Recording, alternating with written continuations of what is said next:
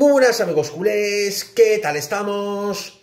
Todo empezó con el bombazo que soltó el Kun Agüero hace una semana en una entrevista afirmando que si la porta se mueve, Messi vuelve al Barcelona en verano.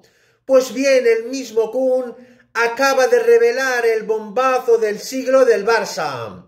En un programa de un famoso streamer, Agüero fue preguntado que si le llegó a Messi la gran ovación recibida por parte de 92.000 personas en la final de la King League y el Kun aseguró que Messi no esperaba ese gran gesto de la afición culé y se emocionó.